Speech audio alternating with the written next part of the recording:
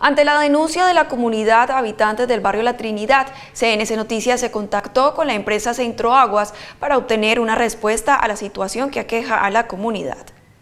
El área técnica operativa de Centro Agua se la encarga de gestionar algunas de las obras que se realizan en el municipio. Debido a ella, María Fernanda Marín, subgerente técnica operativa, responde a la denuncia de la comunidad del barrio La Trinidad.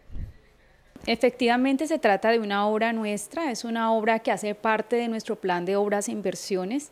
Esta obra consiste en la reubicación de una de las estaciones de control sectorial que tenemos y ha sido precisamente esa reubicación la que ha presentado algunos problemas técnicos, por eso es que se presenta en este momento un estancamiento de aguas, eh, que además son aguas de nivel freático, entonces eh, este es el inconveniente que hemos tenido en obra para poder avanzar y poder culminar rápidamente. Las aguas freáticas es una acumulación de agua subterránea que se encuentra a una profundidad relativamente pequeña bajo el nivel del suelo. Precisamente es un acuífero relativamente superficial, por lo tanto las obras tienen agua debido a ello. No obstante, Centro Aguas inició el día de hoy procesos de limpieza y succión de agua.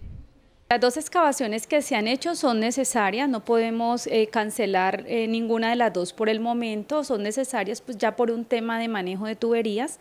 Lo que estamos haciendo es a través de nuestra área operativa, eh, estamos realizando la limpieza de estas cámaras que se encuentran ya pues en proceso de excavación para evitar el tema de riesgo por vectores en la comunidad. La empresa Centro Aguas admite que existe un retraso en las obras por falta de accesorios para la instalación de una válvula de control sectorial. Sin embargo, actualmente cuentan con todos los materiales para que el contratista inicie inmediatamente con la reubicación del sector hidráulico número 15, que corresponde al barrio La Trinidad y Maracaibo.